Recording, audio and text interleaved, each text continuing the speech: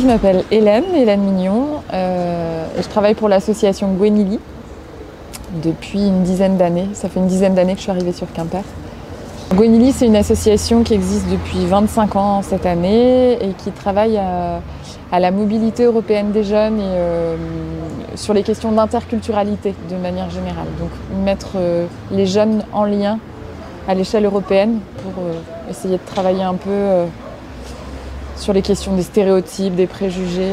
Gwenili organise des, rencontres de jeunes euh, sous forme de chantiers écologiques ou de rencontres artistiques l'été par exemple, des formations pour les professionnels euh, jeunesse, euh, donc toujours des professionnels de différents pays qui participent à ces formations.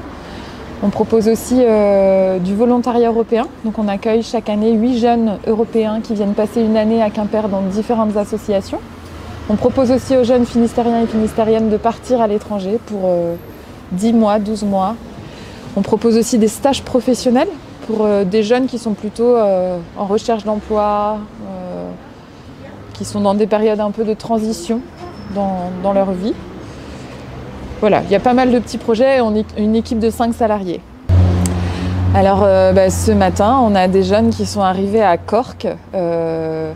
5-6 euh, jeunes euh, en stage professionnel. Euh, donc ils ont pris le bateau la nuit dernière ils sont arrivés ce matin à Cork pour être dans différents, lieux d'accueil en stage en fait. Donc les lieux d'accueil c'est très différent, ça peut aller d'un hôtel-restaurant à une ferme en maraîchage, à un centre de loisirs, un centre social une association qui travaille sur des projets autour de l'environnement. Enfin voilà, il y a des lieux de stage différents. Mais concrètement, euh, fraîchement, ce matin, ils, ont débarqué à Cork. Alors c'est pas des lieux de stage à Quimper, c'est des lieux de volontariat. On parle du corps européen de solidarité, c'est du volontariat qui pourrait s'apparenter au service civique. Et donc là, on a huit jeunes qui sont arrivés euh, il y a trois semaines. Euh, qui viennent aussi bien d'Allemagne, de Géorgie, de Biélorussie, d'Espagne, euh, donc voilà, de nationalités différentes du Maroc. Et donc ils sont en volontariat au Centre social des abeilles, euh, au lycée du Liquès, à l'ESAT de Briec, au Centre social de Rospordin, au CCS de Plouné-Ourlan-Verne, au lycée de Châteaulin, au lycée de Pont-l'Abbé, au CIGE de Pont-l'Abbé. Enfin, les lieux de volontariat sont très variés. On me chuchote à l'oreille. Effectivement, à Flux, on accueille une volontaire cette année qui est à mi-temps entre Flux et le Likes. Et c'est Sofia qui vient de Biélorussie. Alors Flux, c'est l'histoire, on va dire, d'un collectif qui s'est rencontré il y a trois ans et qui a commencé à réfléchir à l'idée d'un lieu commun pour pouvoir héberger des activités, mais aussi accueillir du public et créer un lieu un peu, un peu polymorphe, si on peut dire, de, où, les gens viendraient prendre un café, mais où voilà, on aurait aussi des accueils de réunion, où il y aurait euh, des ateliers de chant, par exemple le mardi soir en ce moment, mais aussi des ateliers de bricolage, un Fab Lab, un, lieu un peu euh, à géométrie variable.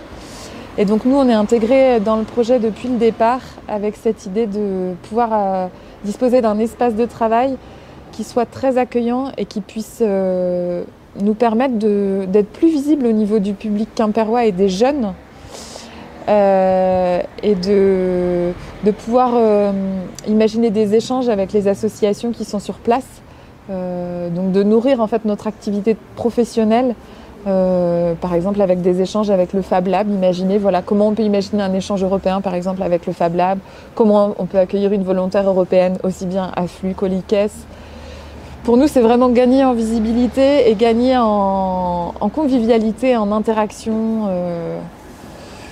Voilà, enrichir un peu tout ça. Alors parfois, il y a ce qu'on souhaite nous, salariés, et ce qui se passe dans la réalité. Donc nous, salariés, équipe, euh, bénévoles, ce qu'on souhaite en tout cas, c'est que les jeunes puissent aussi investir euh, bah, le lieu, euh, que ce soit par exemple le café associatif, d'animer des réunions sur les questions de volontariat en Europe dans le café associatif, et de pouvoir ensuite prolonger les échanges autour d'un verre avec d'autres jeunes qui viennent du quartier, du coin, voilà, voilà, créer un peu une effervescence. Mais aussi, voilà, que quand l'atelier sera en route, que les jeunes puissent peut-être euh, aller bricoler dans l'atelier, aller se former avec les portes logiques au Fab Lab, euh, euh, avec les questions, enfin l'imprimante 3D, des choses comme ça, qui puissent profiter en tout cas des, outils du lieu et ce qui nous est cher, c'est la rencontre. Donc euh, déjà au niveau de Gwenili, c'est quelque chose qu'on a à cœur, en tout cas de faire en sorte que les bénévoles rencontrent les volontaires européens avec les salariés. Voilà, ça fait déjà une, dynamique assez chouette. Mais euh, là, de se dire qu'avec Flux, ça amène euh, une nouvelle dynamique avec plein de nouvelles personnes, des parcours différents. Donc voilà, si, ces jeunes-là peuvent rencontrer toutes ces nouvelles personnes aussi, voilà. Et c'est vrai que c'est une problématique parfois pour les volontaires européens qui arrivent à Quimper de rencontrer des Quimpérois, des Quimpéroises. Ils ont tendance à rester entre eux, entre volontaires européens, mais c'est difficile pour eux de. Donc ça peut être aussi une chouette opportunité de, de créer des liens d'amitié plus facilement.